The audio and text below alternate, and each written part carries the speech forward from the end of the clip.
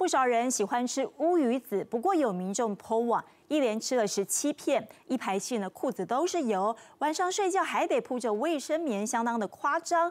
这篇剖文引发了网友热烈讨论，有人直言可能是被骗了，拿鱿鱼子混充乌鱼子。不是。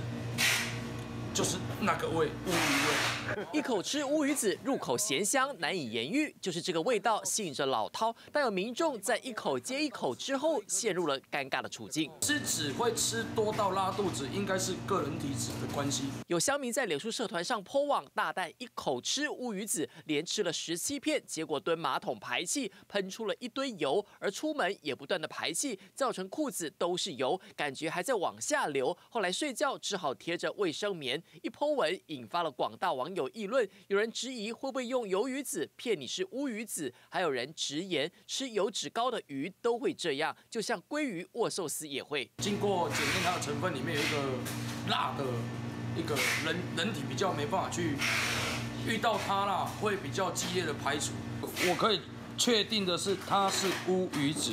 业者从网友的 po 文照片当中认定是乌鱼子，乌鱼、鱿鱼怎么分辨？外观上两者大小差很多，乌鱼子透光呈金黄色，鱿鱼子颜色深不会透光。一个是菱形，一个是椭圆状，而以价格来看，乌鱼子当然比较贵。哦，你把它剥开，你看得到籽，一颗一颗的籽。哦，它的籽是比较看不到的，有没有？